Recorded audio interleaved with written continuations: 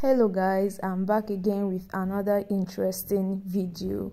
Please if you're new here or if you have been here and have not subscribed please like and subscribe to my channel. You can also turn your notification bell on so that you get notified whenever i post new video.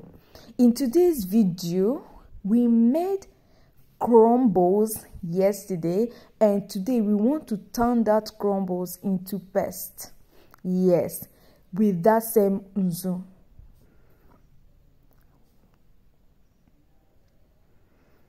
Hmm.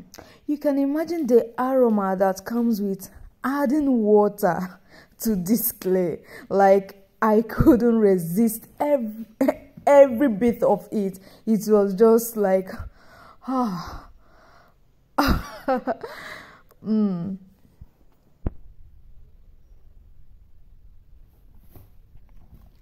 Yes, here it is.